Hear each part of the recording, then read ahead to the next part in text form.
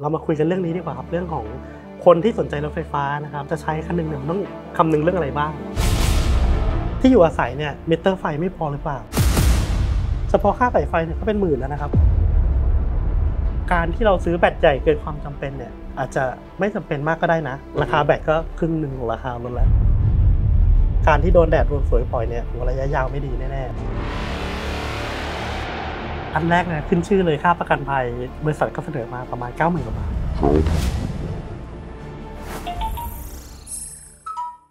สวัสดีเพื่อนๆชาววิคิราครับ กับผมบัตดี้พิเจน ในคลิปวันนี้นะครับ เรียกได้ว่าเป็นโปรเจกต์พิเศษครับ เพราะว่าทางวิคิราเราได้คอแลบจับมือกับทางเพจ Facebook EV Thai Society ครับแน่นอนครับว่าพอพูดถึงเพจนี้แล้ว เรื่องที่เราจะมาพูดคุยกันก็คือเรื่องของรถไฟฟ้าครับที่เรียกได้ว่าเป็นเทรนด์ที่มาแรงมากๆ มีผู้คนให้ความสนใจมากครับและตอนนี้ครับเจนก็อยู่กับพี่อาร์ตครับเจ้าของเพจ Facebook EV Thai Society ครับสวัสดีครับพี่อาร์ตสวัสดีครับเพื่อนๆสวัสดีครับแนะสวัสดีนำครัตัวให้สวัสกัดีบครับเพื่อนๆเรารู้จักหน่อยครับก็อาร์ตนะครับเป็นผู้ก่อตั้งเพจ EV Thai Society นะครับตัวผมเองเนี่ยเป็นคนที่ชอบรถไฟฟ้าอยู่แล้ว แล้วก็ครับอยากจะทำเพจเนี่ยครับให้ความรู้ให้ข้อมูลข่าวสารนะครับก็ครับเกี่ยวกับรถไฟฟ้าใครสนใจก็ติดตามได้ที่เพจเลยนะครับ โอเคครับ ในหัวข้อวันนี้เนี่ยครับพี่อาร์ตอืม topic ที่เราจะมาคุยกันคือเรื่องอะไรครับ เรามาคุยกันเรื่องนี้ดีกว่าครับ เรื่องของ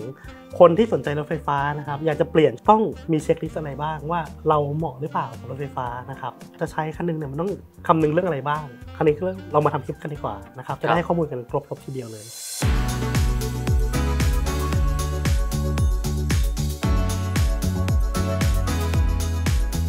ข้อแรกเลยคือเราต้องสำรวจตัวเองก่อนเลยนะครับว่าการใช้รถของเราเนี่ยปกติเนี่ยเราใช้รถยังไงนะครับวันหนึ่งเราใช้งานกี่กิโลเมตรเรา เดินทางกี่คนนะครับอืมเป็นคนที่แบบต้องขึ้นเขาทุรกันดารหรือเปล่า ครับรวมถึงตัวเราเองเนี่ยนะครับเป็นคนที่ชอบเรื่องเทคโนโลยีหรือเปล่า เพราะว่ามันมีอืมเรื่องของแอปพลิเคชันมาเกี่ยวข้องด้วยกับรถไฟครับฟ้านะครับ อันเนี้ยเป็นจุดแรกเลยที่เราต้องสังเกตตัวเองก่อนอ่าถ้าเกิดในเคสที่ผมอยากจะออกไปเที่ยวต่างจังหวัดบ้าง เช่นอยากจะไปบางแสนไปชลบุรีพัทยาอย่างเงี้ยรวมสรรพเสร็จเกือบ 400 โลอย่างเงี้ยอืมทำไงดีครับอันนี้มันเป็นธรรมชาติของคนไทยนะครับคนที่ซื้อรถใหม่อืมก็คือซื้อรถมาแล้วอยากลองแล้วพาไปเที่ยวนู่นนี่นั่นนะครับครับหลักง่ายๆก็เนี่ยพัทยาเขาใหญ่หัวหินนะครับอืมบางคน hardcore เนี่ยขับไปเชียงใหม่เลย ซึ่งจริงๆการที่เราจะขับรถไปต่างจังหวัด หรือครับว่าเกินระยะหรือระยะที่มันฟิตเนี่ยอันนี้เป็นสิ่งที่เราจะต้องคำนึงเพิ่มขึ้นมานะครับเป็นสิ่งที่คนคำนวณเลยว่าเฮ้ยเราจะทำยังไง อันดับแรกคือเราต้องโหลดครัแอบปพลิเคชันก่อนนะครับอืมจริงๆมันมีแอปพลิเคชันเยอะแยะเลยที่อืมคนขับรถไฟฟ้าเนี่ยต้องโหลดนะครับแต่ว่าที่แนะนำเลยคือแอปพลิเคชันชื่อ Plug Share นะครับอืม Plug Share เนี่ยมันจะรวมทุกๆ หัวชาร์จไว้ครับในในใน แอปเลยฉะนั้นเวลาเรากด map ไปเนี่ยเราจะเห็นเลยว่าตรงเนี้ยที่เส้น route ที่เราไปเนี่ยอืม มันมีหัวชาร์จของยี่ห้ออะไรบ้าง กี่หัวกำลังไฟเท่าไหร่ว่างหรือเปล่า เสียหรือเปล่ามันก็จะบอกนะครับก็อืมอันนี้เป็นแอปที่แนะนำเลยนะครับก็ถือว่าค่อนข้างตอบโจทย์เลยทีเดียวนะครับใช่ครับ และอย่างนี้ผมถามนิดนึงอะถ้าเกิดสมมุติว่าแบบผมจะหมดแล้วแล้วผมเสียบชาร์จทีนึงเนี่ยผมต้องรอที2 1 3 4 ชั่วโมงอะไรอย่างนี้ไหม อันนี้เป็นสิ่งที่ผมผมอยากให้ความรู้เลยแล้วกันนะครับว่าจริง ๆ ระบบชาร์จไฟรถเนี่ยมันมี 2 แบบนะครับก็คือระบบ AC กับ DC นะครับครับ AC เนี่ยเป็นแบบชาร์จแบบแบบช้าหรือชาร์จไฟบ้านทั่วๆไปอะนะครับแล้วก็ระบบ DC เนี่ยครับที่เป็นครับระบบชาร์จตรงของรถไฟอืมฟ้าเนี่ยครับคือตอนนี้มันมีให้เลือกตั้งแต่ 50 กิโลวัตต์ถึง 160 กิโลวัตต์เลยอย่างอย่าง 160 กิโลวัตต์ที่ผมเคยใช้นะครับก็คือ 10 นาทีเนี่ยแอปเตือนเลยว่าแบตจะเต็มแล้วผมยังแบบล้างหน้าไม่เสร็จยังไม่ซื้อกาแฟไม่เสร็จเลยเนี่ยก็คือเดินทางได้ต่อแล้วสบายมาก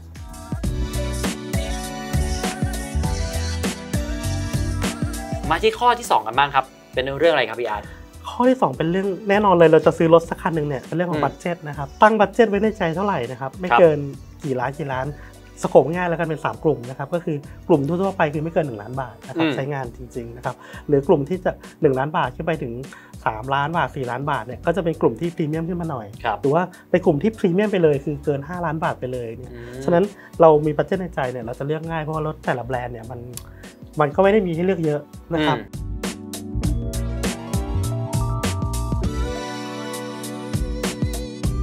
โอเครวมๆแล้วเราก็ต้องมาดูแหละนะว่างบ budget เรามีอยู่เท่าไหร่แล้วครับคิดว่ารถรุ่นที่เราดูอยู่เนี่ยมันตอบโจทย์การใช้งานไหมเพราะถ้าสมมุติว่าเรามีอะสักต่ำกว่าล้าน แต่ว่า เราชอบออกต่างจังหวัดบ่อยๆ เช่นแบบต้องไปเชียงใหม่ไปอะไรเงี้ยแบบเป็นประจำก็อาจจะดูรถรุ่นที่ได้ความจุมากหน่อยอ่าความจุแบตในเรื่องของระยะมากหน่อยทางใช่ครับอืมจะได้ safe safe หน่อย แต่ผมมองจริงๆนะครับถ้าเราเรารู้จักการ plan หรือวางแผนเนี่ยอย่างที่ผมบอกว่าจุดชาร์จมันมากกว่าพันพันจุดแล้วฉะนั้นระยะทางทุกๆร้อยกิโลเมตรอะมีจุดชาร์จแล้วล่ะอืมก็การที่เราซื้อแบตใหญ่เกินความจำเป็นเนี่ยอาจจะ ไม่จำเป็นมากก็ได้นะ เพราะว่าราคาแบตก็ครึ่งหนึ่งของราคารวมแล้วฉะนั้นแบตใหญ่เนี่ยเราแบกน้ำหนักเยอะนะครับครับสองคือเวลาเปลี่ยนแบตเนี่ยค่าใช้จ่ายค่อนข้างสูงอืมก็อันนี้ต้องไปเทียบกันเองดีๆ คือบางคนเลือกรถต้องเอาแบตใหญ่สุดๆไว้ก่อนเดินทางได้พันกิโลเมตรผมบอกว่าอาจจะไม่จำเป็นแหละอ่าโอเคก็ลองชั่งน้ำหนักดูแล้วกันนะครับใช่ว่าครับจะเลือกรุ่นไหนบ้างนะคใช่รับครับ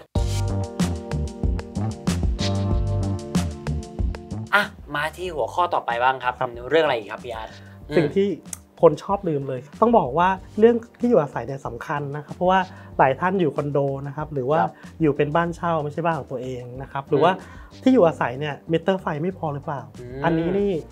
ต้องไปดูนะครับ ดูยังไงเนี่ย ผมว่าเดินออกไปตรงมิเตอร์ไฟบ้านเราไปดูอืมได้เลยว่า มันจะมีตัวเลขเขียนเลยว่า15วงเล็บ45อะ30วงเล็บร้อยอะไรประมาณเนี้ยอืมซึ่งบ้านส่วนใหญ่จะเป็น 15ทับ45 ไม่พออืมแน่ ๆ แล้วล่ะ คราวนี้ไม่พอทำไงล่ะ ครับต้องอะต้องทำยังไงบ้างครับ ใช่อืมไม่เหมือนกันนะครับ คนที่อยู่กรุงเทพกับคนที่อยู่ต่างจังหวัดไม่เหมือนกันเพราะว่าคนอยู่กรุงเทพเนี่ยจะอยู่ในเขตของการไฟฟ้านครหลวงนะครับ MEA ส่วนคนอยู่ต่างจังหวัดเนี่ยอยู่การไฟฟ้าภูมิภาค PEA นะครับครับระเบียบการไม่เหมือนกันอย่างนครหลวงเนี่ยเขาไม่ติดมิเตอร์แยกให้นะครับฉะนั้นอ่าคุณต้องไปขอมิเตอร์ใหม่ให้กำลังไฟจ่ายได้มากขึ้นนะครับอืมครับ ส่วนตัว PEA เนี่ยเราเดินไปบอกเขาเลยว่าเราจะขอชาร์จรถไฟฟ้าเนี่ยเขามาติดมิเตอร์อีกลูกหนึ่งให้เราเลย จริง ๆ แล้วเนี่ยการไปขอมิเตอร์เนี่ยต้องเผื่อเวลานิดนึงเพราะว่าเอ่อระบบราชการไทยเนี่ยขั้นตอนค่อนข้างเยอะพอสมควรนะครับครับ ฉะนั้น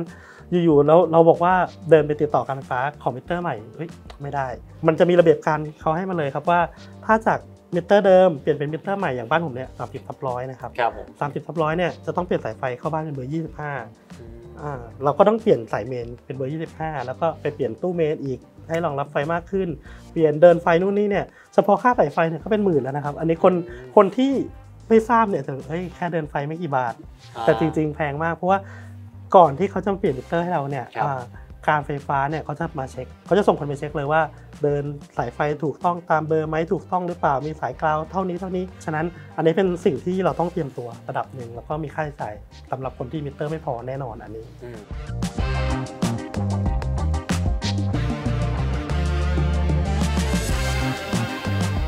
ติดตั้งแล้วอยู่ในจุดที่โดนแดดโดนฝนพวกเนี้ยอืมจะเป็นอะไรไหมครับ คือต้องบอกว่าจริง ๆ แล้วเนี่ยตามมาตรฐานนะครับของเครื่องชาร์จรถไฟฟ้าเนี่ยเขาเรียก wall walk เนี่ยครับครับผมมันอยู่ในมาตรฐาน IP67 อยู่แล้ว คือกันอืมน้ำกันฝนได้อยู่แล้วล่ะครับก็ครับคือไม่ต้องกลัวแต่ว่าด้วยความที่มันเป็นพลาสติกในบางชิ้นนะครับแล้วก็ครับเป็นยางด้วยอืมการที่โดนแดดโดนฝนบ่อยๆเนี่ยผมว่าระยะยาวไม่ดีแน่ๆเพราะว่าอืมมันจะกรอบหรืออันวันหนึ่งอาจจะมีไฟรั่วได้ฉะนั้นผมแนะนำว่าให้อยู่ในร่มดีกว่า ก็คือพยายามสนุถนอมกับมันแหละเพราะว่ามันก็เป็นอุปกรณ์ที่แบบอ่าต้องใช้งานทุกวันใช่แล้วยิ่งถามนิดอย่างเออตัวรถเองด้วยแหละสมมุติว่าเราไอตัววอลชาร์จของมันอะอยู่ในบ้านครับมีหลังคาครับแต่ตัวรถเนี่ยเราอยู่หน้าบ้านอย่างเงี้ยอืมการที่เราไปเสียบชาร์จรถทิ้งไว้อย่างเงี้ยแล้วโดนแดดเยอะๆอย่างเงี้ยรถเนี่ยแบตเตอรี่จะเสื่อมไหมคือต้องบอกอย่างนี้ครับหลายคนกลัวเลยว่าการชาร์จรถเนี่ยโดนแดดหรือว่าระหว่างฝนตกเนี่ยทำได้ไหมตอบเลครัยบว่าทำได้นะผมเคยแบบฝนตกแบบฟ้ารั่วแล้วก็ไปเสียบชาร์จให้เพื่อนดูว่ามันไม่อันตรายนะครับแต่อืมว่า เรื่องของแบตเตอรี่เสื่อมไหมอันนี้ครับตอบได้ว่าเรื่องความร้อนมีผลกับแบตเตอรี่อยู่แล้วครับระหว่างไฟเข้าแบตเตอรี่เนี่ยแบตเตอรี่มันเริ่มร้อนอยู่แล้วครับแต่ว่ารถทุกคันเนยครับจะมีระบบคูลิ่งแบตเตอรี่อยู่แล้วอืมฉะนั้นพอแบตมันเริ่มร้อนคูลิ่งทำงานครับมันก็เกิดไซเคิลการใช้ไฟแล้วก็มาทำให้แบตร้อนแล้วเย็นร้อนเย็นเนี่ยทำให้ผมว่าระยะยาวเนี่ยแบตอาจจะเสื่อมได้แต่คงไม่ได้เร็วขนาดนั้นไม่เร็วขนาดนั้นแต่ว่าส่งผลพอสมควรอ่าครับครับ แล้วถ้าเกิดเป็นจำกลุ่มพวกคนที่อยู่ตามคอนโดหรืออพาร์ตเมนต์พวกเนี้ยครับโอ้โหควรทำไงดี อันนี้หนังชีวิตเพราะจริงๆนะหลายคนเนี่ยอยากใช้รถไฟฟ้าแต่ว่าอยู่คอนโดนะครับครับคือถ้าเป็นคอนโดสร้างมานานแล้วเนี่ยจะยังไม่มีจุดชาร์จแต่คอนโดใหม่เนี่ยเห็นเริ่มมีแล้วนะหลาย ๆ ที่เริ่มมีจุดชาร์จแล้ว แต่ครับถ้าคอนโดเก่าๆเนี่ยผมก็เห็นมี 3 วิธีนะครับที่อืจะอฮึจะแก้นะครับวิธีแรกเดินไปคุยกับนิติเลยจูงลูกบ้านไปคุยกันว่า เราควรจะมีจุดชาร์จเพิ่มนะ เพราะว่าเอ่ออืมอีกหน่อยมันเป็นอนาคตแล้วล่ะครับมันก็เป็นภาพลักษณ์ที่ดีของคอนโดด้วยนะครับอืม ถ้าเขาไม่ยอมจริงอันดับที่สองคือ ไปดูว่าที่จอดรถเนี่ยมันมีปลั๊กไฟหรือเปล่านะครับ ครับ ซึ่งรถทั่วๆไปเนี่ยจะมีตัว portable charge หรือว่าตัวชาร์จสำหรับการเดินทางแล้วเสียบไฟบ้านได้เลยนะครับ ก็คือเป็คนรับ ปลั๊กปกตินี่แหละอืม อ่าก็ไปขอเขาเสียบถ้าอย่างนั้นก็น่าจะได้นะครับ สุดท้ายถ้าเขาไม่ยอมจริงๆก็หลายๆท่านเนี่ยผมเห็นส่วนใหญ่เนี่ยเข้าไปชาร์จตามจุดสาธารณะนะครับมันก็เสียเวลานิดนึงอืม ใช่ใช่ หลักๆแล้วกันครับ ครัก็บ คือเราต้องดูว่าตัวบ้านเราเนี่ย พร้อมที่จะติดตั้งกับ wall charge ไหมเพราะว่าแน่นอนว่ามันอืมกินไฟมากขึ้นตัวแบตเตอรี่รถเนี่ยมันต้องคอยใช้ไฟอยู่ตลอดใช่แน่นอนใช่ว่ามิเตอร์ตามบ้านทั่วไปไม่เพียงพอแน่ครับใช่ๆเพราะฉะนั้นก็ต้องอาจจะทำเรื่องขอมิเตอร์เพิ่มอ่าใช่ครับรวมถึงอาจจะต้องมีการวางแผนถ้าเกิดในจำพวกของคนที่ไม่ได้อยู่บ้านจริงอยู่เป็นคอนโด อยู่คอนโดอะอืมไปดูก่อนแถวๆคอนโดมีจุดชาร์จไหมหรือว่าไปคุยกับนิติล่วงหน้านะครับครับคนอยู่บ้านเองก็เหมือนกันนะครับถ้าถ้ามิเตอร์ไม่พอเนี่ยก็ ดำเนินเรื่องแต่เนิ่นๆนะครับเพราะเดี๋ยวไกลว่ารถมาแล้วเนี่ยมาติดตั้งจุดชาร์จไม่ได้อีกก็ไม่ได้ใช้รถอีกนะอ่าสรุปหลักๆ สิ่งที่ต้องเตรียมความพร้อม 1. สำรวจตัวเองก่อนซื้อ 2. กำหนดราคาให้เหมาะสมกับการใช้งาน 3. ที่พักอาศัยของเรา ต้องดูว่าเราอยู่บ้านหรือคอนโด ถ้าอยู่บ้านก็ต้องดูว่ามีที่ติดตั้ง EV Charger ไหม หรือถ้าอยู่คอนโดอาจจะต้องคุยกับทางนิติเรื่องติดตั้งจุดชาร์จ 4. เตรียมความพร้อมก่อนติดตั้ง EV Charger ต้องดูว่าบ้านของเรามีกำลังไฟเท่าไหร่ ถ้าไม่พออาจจะต้องติดต่อการไฟฟ้า เพื่อให้พอดีกับจำนวนไฟฟ้าที่ต้องใช้นั่นเองนอกจากสีข้อนี้แล้วมีอะไรที่อยากจะแถมให้กับคนดูอีกบ้างไหมครับ จริงๆแล้วก็มันจะเป็นเรื่องของการใช้งานอืมอ่าการขับขี่ ซึ่ง รถไฟฟ้าส่วนใหญ่เนี่ยจะมีระบบรีเจนนะครับก็คือเป็นวันพัดเดิลด้วย อย่างรถผมเนี่ยขับมาบ้านมาถึงเนี่ยไม่ได้ไม่เหยียบเบรกเลย พอเรายกคันเร่งคือเบรกแล้วอ่าฉะนั้นคนที่ขับรถไฟฟ้าใหม่เนี่ยคนนั่งจะเวียนหัวนะ ผมตอนแรกผมก็ไม่ค่อยชอบปรับตัว 2 วัน ตอนเนี้ยชอบไปเลยเพราะว่าสนุกอะเราขับอ่ามุมุดไปมุดมาเนี่ยเราไม่ต้องใช้เบรกเลยนะครับเออใช้เลี้ยงคันเร่งคุมคันเร่งอย่างเดียว แล้วก็อืมมันจะมีเรื่องของความที่มันเป็นสมาร์ทแค d เจ็ตทุกอย่างอยู่ในจอหมด ถ้าคนที่ไม่คุ้นชินอาจจะต้อง เรียนรู้นิดนึง แต่อย่างอย่างคนที่ชอบ gadget อยู่แล้วจะรู้สึกสนุกนะมันมี feature อะไรเรื่อยๆโอเคครับและนอกจากนี้ยังมีข้อไหนอีกไหมครับพี่อาร์ตเราต้องคิดถึงอนาคตแล้วพอได้รถอืมมาแล้วนะครับว่าการใช้งานของรถเนี่ยอีกหน่อยการดูแลระยะยาวเนี่ยจะเป็นยังไงบ้างนะครับอย่างเช่นรถที่เราซื้อมาเนี่ยมีศูนย์บริการใกล้บ้านหรือเปล่านะครับครับอะบางคนซื้อรถจาก grey market หรือ import เข้ามาเองเลย ถึงรอบ service อ้าวไม่รู้จะไป service กับใครหรือว่าบางยี่ห้อเนี่ยครับศูนย์บริการยังน้อยอยู่นะครับอืมต้องวิ่งเข้ากรุงเทพตลอดรวมถึงค่าใช้จ่ายหลายๆอย่างนะครับ เรื่องค่าประกันภัยนู่นนี่นั่นซึ่งมันแพงกว่ารถทั่วๆไปอยู่แล้วล่ะใช่ลองศึกษาดูว่าแต่ละแบรนด์เนี่ยค่าประกันเท่าไหร่ แล้วก็ลองเวทกันดูอันนี้ ผมว่าก็เป็นเรื่องที่อยากฝากไว้เป็นข้อสุดท้ายครับงั้นอันนี้ spoil นิดนึงครับครับว่าอะอย่างพี่ขับเทสลาอย่างเงี้ยค่าใช้จ่ายเอาง่ายๆสักคร่าวๆปีหนึ่งเนี่ยโอ้โหเสียอะไรไปเท่าไหร่บ้างคือแบบว่าอันละอันแรกเนี่ยขึ้นชื่อเลยค่าประกันภัยครับก็เอ่อ ล่าสุดบริษัทก็เสนอมาประมาณ 9 0,000กว่าบาทอะอืมอันนี้อะตอนเนี้ยที่หาได้ถูกสุดประมาณ 70,000กว่าบาท ซึ่งเทียบแล้วมันก็สูงอ่าอืมสูงถ้าเทียบกับรถทั่วๆไปนะครับ ซึ่งครับหลายๆยี่ห้อก็เป็นอะผมว่า